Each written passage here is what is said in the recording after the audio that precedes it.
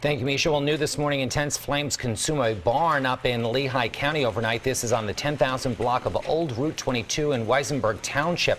Firefighters worked quickly to contain the blaze. Fortunately, no one was injured, but we're told that the barn housed classic cars and some other mechanical equipment. The cause of the blaze is under investigation.